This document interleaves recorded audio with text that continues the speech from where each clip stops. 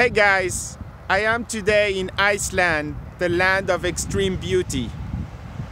I am standing now by the third largest geothermal power plant in the world. It's a 300 megawatt power plant. What's remarkable about Iceland is that 100% of its energy needs come from renewable sources.